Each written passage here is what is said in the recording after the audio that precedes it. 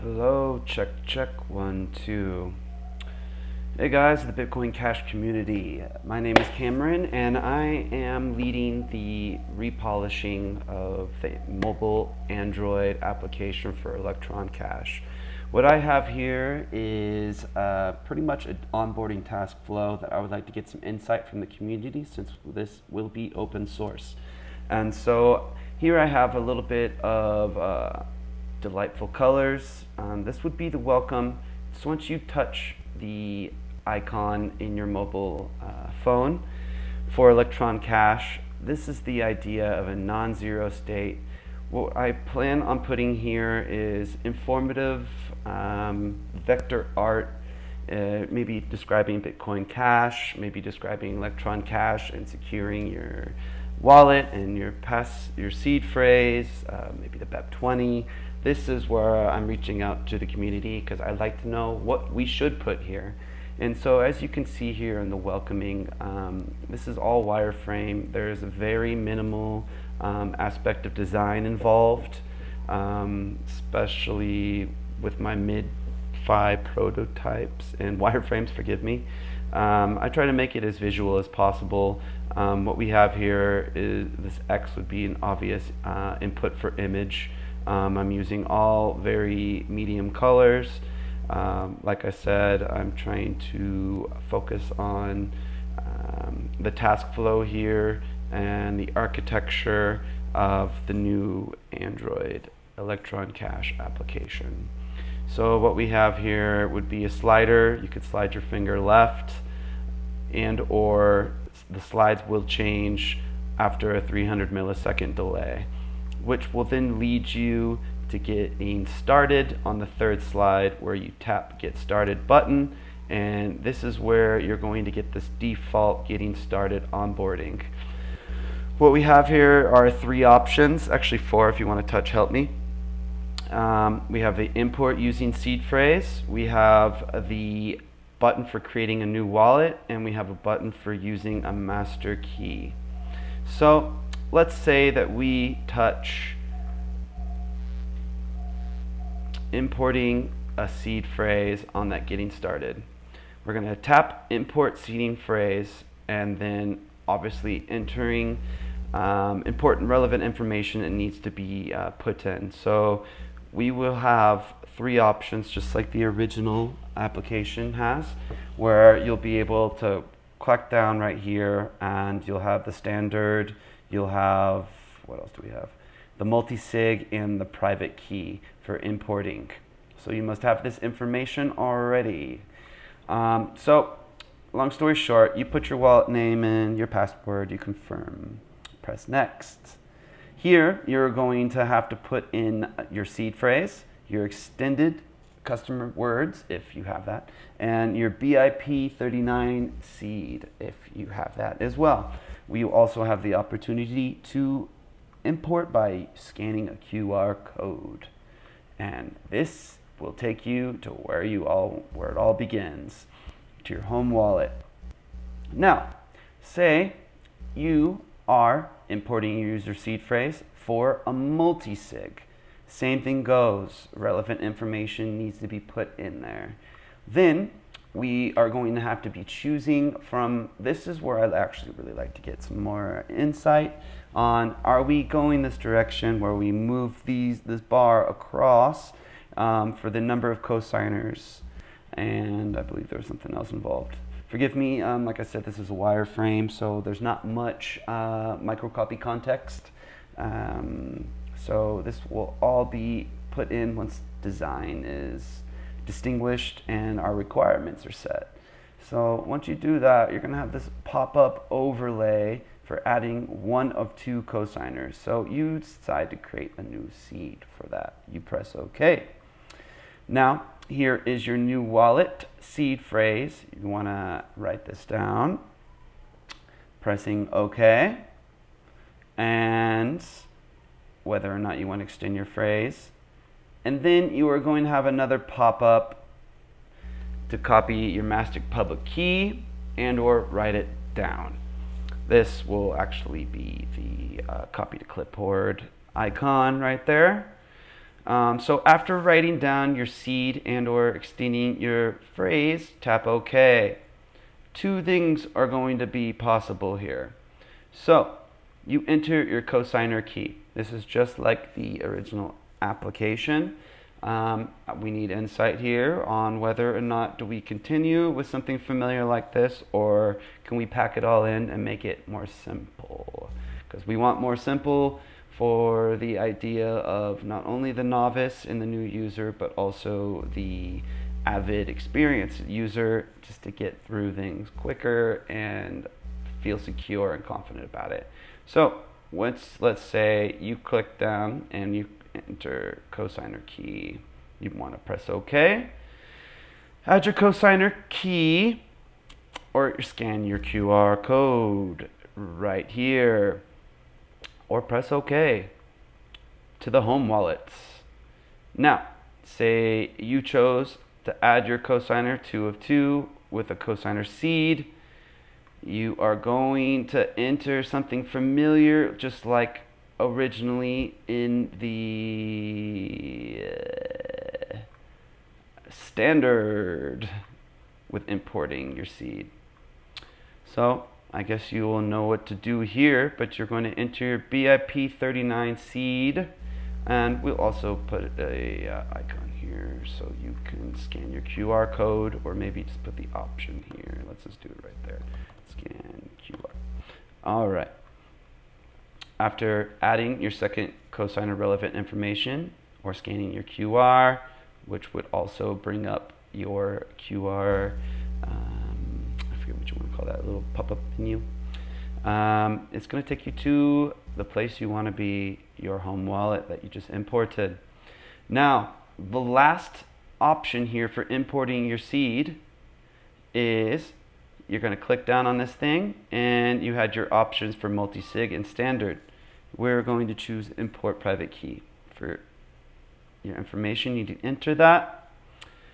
Uh, then you're going to continue um, entering. Oops, I've got myself a. There you go. Adding your relevant information or scanning your QR code.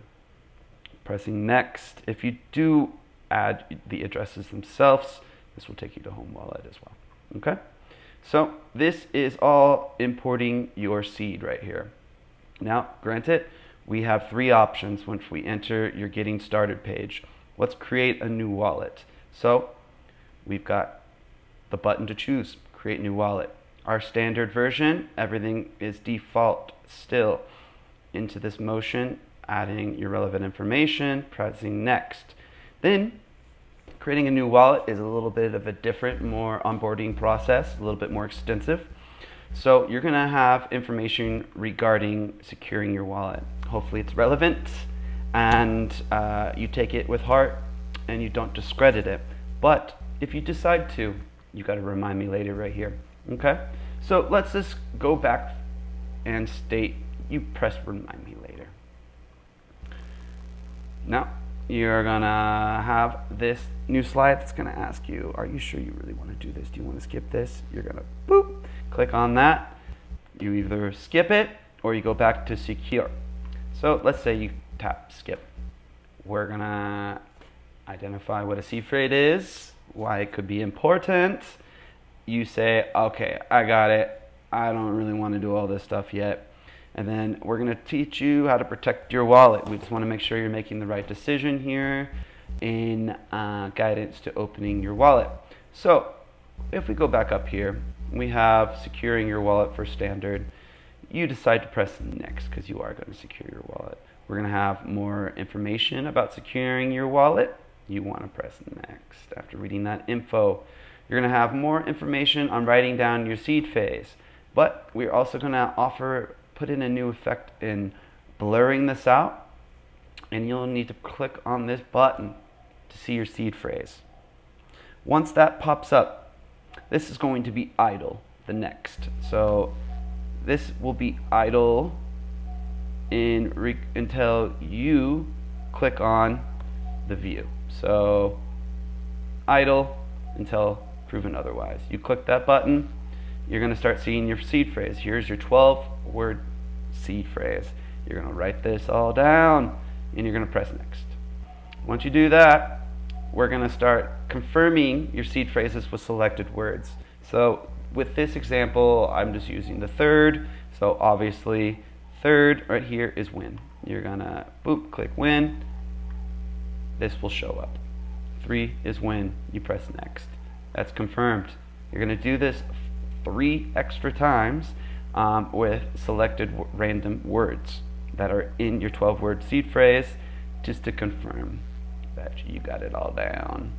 Once you collect, you confirm all uh, selected words, you're going to press next and you're going to get yourself a success on creating a new wallet which will have a, about a 300 second millisecond delay. Take you to your home wallet get started there. All right. Now there's two other wallets you could be creating creating a new wallet, obviously entering default information. As you can see here, wallet, password, confirm password. You're going to do the same thing again, and just as like if you did on importing your seed phrase, with multi-sig, you need to choose the number of cosigners. Uh, with this roll bar, um, also thinking about maybe even putting a progress bar for these creating new wallets which will be even cooler. So this is going to do the same thing for you, just as we saw up here. It's going to give you information about securing your wallet. You're going to have to click view, press next, and then here you go through the whole process of creating a new wallet for a multi-sig. Now, what's different here is that after you receive the success in creating a new wallet, you're going to also come back to a, a familiar slide back in your uh, creating new wallet with multisig. Now you're going to have to tap to reveal your public key. View, this will be idle until proven otherwise. And your public key will be here for you to write down as well as copy to clipboard. Copy that. Let's just say you click that, copy to clipboard, press next. Um, sorry, I, these are very important. I want to continue to show this. Now, you're going to enter your cosigner key here. Wow, enter that XPub, I believe it's called. And or choose scanning. Where is that going to take you once you get there? That's to the home wallet. Like I said, this is all just for onboarding. And now now let's state that you um, decided to type in your xpub, I believe. This, oh, enter your cosigner seed, my apologies. So here you have your enter cosigner key and you have your enter your cosigner seed right here. All right, I just need to rewrite that so I know what I'm talking about. And you're going to have that familiar place again where you type in the seed phrase, maybe you extend it with customer words, custom words, and your BIP 39 seed, and all relevant, you click create, and that's going to take you to your home wallet as well. Now, last one here for importing, or I'm sorry, uh, creating a new wallet familiar place, I'm sure. Enter default wallet information with your wallet name, password, confirm. Click next, or tap next, because this is all in. You're gonna put in your addresses and or scan QR code. If you type your addresses in, you need to press next. If you scan your QR, you have the opportunity to press cancel. Or if it's uh, confirmed with the QR code, it's going to take you to the same place as well. Your new home wallet. Last but not least on that starting, getting started board, you have use a master key as your last option. So click or tap on that and you're gonna have this very familiar place, your wallet information at default. You press next and you have a very familiar place again. You're to put the addresses in or scan QR. Press next if you type in the address, and here you are, scanning the QR and or pressing next. It's going to take you to your wallet. Now, what we have here is uh, what I find to be relevant. I'm not very familiar with Electron Cash, so I'm reaching out to the community to hear from you guys because you're most important. Um, this will establish the success of the Android app. It's a repolish.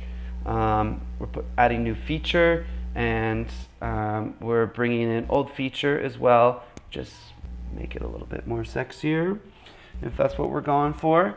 But yeah, from you guys and further on, I'm excited to hear from you and where we can go, how you feel about this. If I'm missing anything, um, please comment, uh, leave however, reach out to the community, and I'll be there reading, listening from you guys to make this a uh, reality, all new and designed.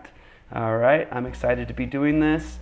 This is onboarding for the new Android application for Electron Cash. Thank you.